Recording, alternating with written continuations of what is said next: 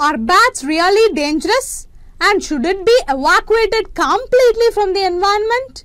To know answer for this question, do watch this video.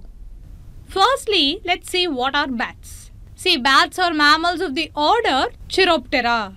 Here note that they are the only mammals capable of true and sustained flight.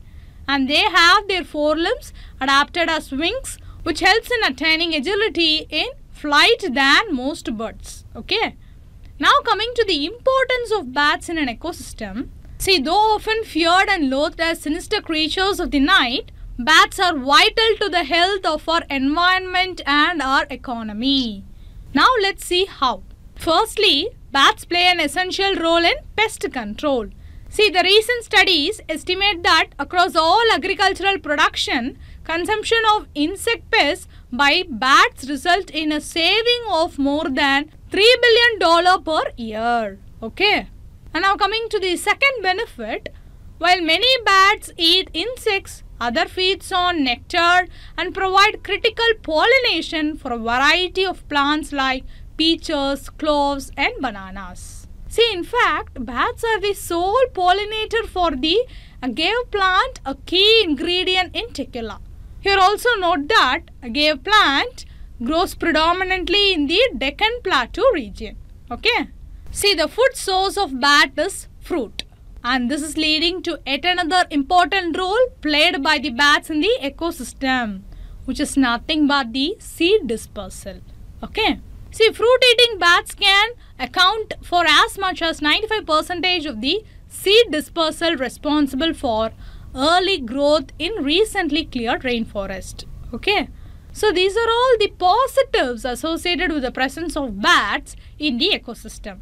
Now let's see about the disease carrying capacity of bats. See, bats are the host for viruses such as Ebola virus, Nipah virus, coronaviruses, etc and these viruses are capable of causing severe and often deadly disease in humans as well as animals. But bats, which are host of such deadly viruses, exhibit no signs or minimal signs of the disease even when there is high viral loads of these viruses in the bat's body. So to find out the reasons behind it, a study was conducted by researchers in Singapore last year.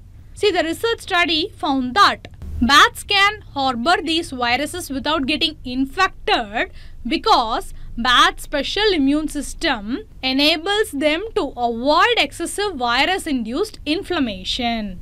So because of its inbuilt immunity, bats act as a perfect carrier of viruses and other deadly pathogens. See, this is yet another important role played by the bats in the ecosystem. But this is a negative role. Okay. So this is all regarding the disease carrying capacity with respect to bats. So through this video, we saw what are bats and what are the positive role it is playing in the environment and what is the negative role it is playing in the environment. So whenever we talk about the evacuation of a species, we must know whether it is playing only the negative role or it is having some point of positive role. Since it is having some positive role, no, evacuating the whole bat species is not good for the whole ecosystem because it will cause imbalance in the ecosystem. And if you want to know more such kind of topics related to environment, do watch our Hindu news analysis regularly.